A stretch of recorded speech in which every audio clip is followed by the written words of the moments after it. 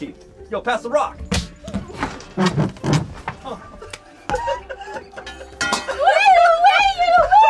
Hey man, just trying to sell you some mixtapes.